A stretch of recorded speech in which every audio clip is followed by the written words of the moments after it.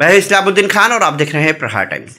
मुमरा के रशीद कंपाउंड के पास पापा का नाका है और यहाँ पर बिजली के केबल जो है वो रास्ते पर ही होने की वजह से एक बड़े खतरे को दावत दे रहा है। वीडियो में आप देख सकेंगे कि रास्ते पर ही टोरेंट पावर का ये केबल पड़ा हुआ है, जो रोड पर है। इसके ऊपर से एक डंपर जाने की वजह से केबल स्पार्क हो गया, आग यहाँ से निकलने लगी। ऐसे में बारिश का मौसम भी आने वाला है। और रास्ते पर अगर ये केबल इसी तरह से रहा तो इसी वजह से किसी का पैर अगर इस पर पड़ा तो एक बड़ा हादसा हो सकता है। और हादसा हुआ तो इसकी ज़िम्मेदारी कौन लेगा?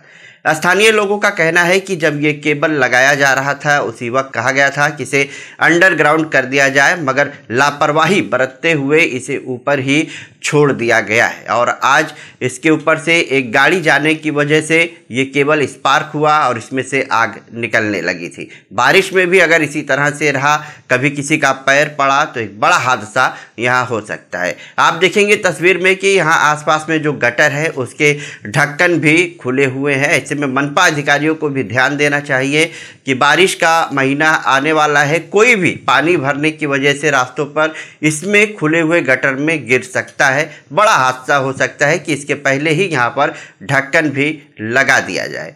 मगर देखने वाली बात यह है कि क्या इन खुले केबलों को आने वाले समय में अंडरग्राउंड कर दिया जाएगा? इन गटर खुले हुए ढक्कनों को जो है यहाँ पर ढक्कन लगा दिया जाएगा या फिर किसी अनहोनी का इंतज़ार किया जाएगा?